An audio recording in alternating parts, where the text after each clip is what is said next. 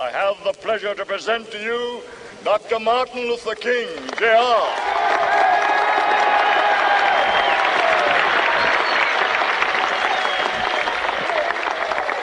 I am happy to join with you today in what will go down in history as the greatest demonstration for freedom in the history of our nation.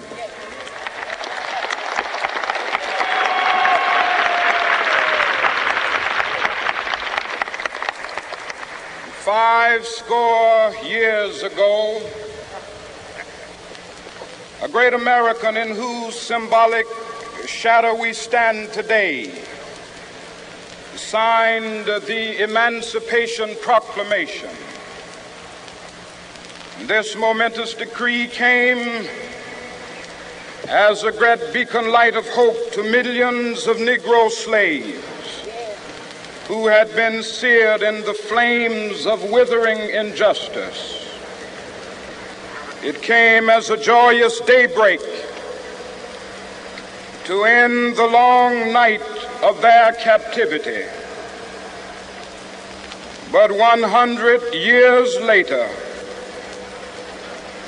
the Negro still is not free. 100 years later, the life of the Negro is still sadly crippled by the manacles of segregation and the chains of discrimination. 100 years later, the Negro lives on a lonely island of poverty. I have a dream that one day this nation will rise up and live out the true meaning of its creed. We hold these truths to be self-evident that all men are created equal.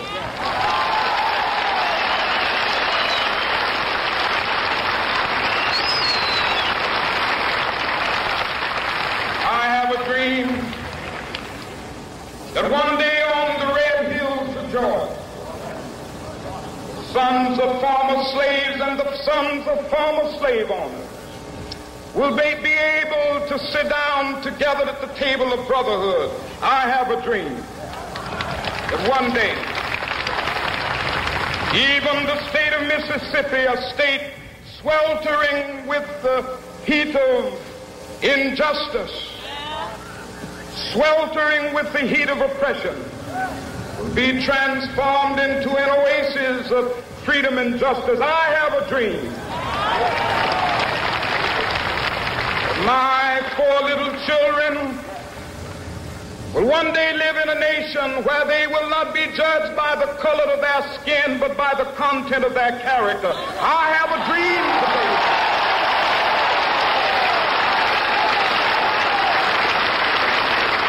I have a dream that one day down in Alabama with its vicious racists, with its governor having his lips dripping with the words of interposition and nullification.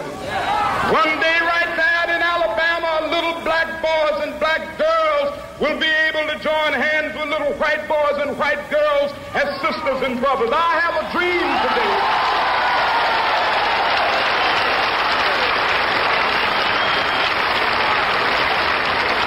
I have a dream that one day every valley shall be exalted. And every hill and mountain shall be made low, the rough places will be made plain, and the crooked places will be made straight, and the glory of the Lord shall be revealed, and all flesh shall see it together.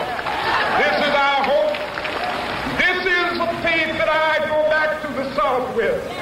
With this faith, we will be able to hew out of the mountain of despair a stone of hope. With this faith, we will be able to transform the jangling discords of our nation into a beautiful symphony of brotherhood.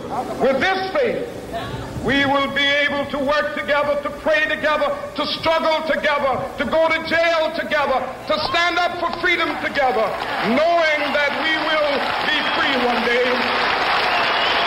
This will be the day, this will be the day when all of God's children be able to sing with new meaning, My country tears of thee. Sweet land of liberty of thee I sing. Land where my fathers died, land of the pilgrim's pride.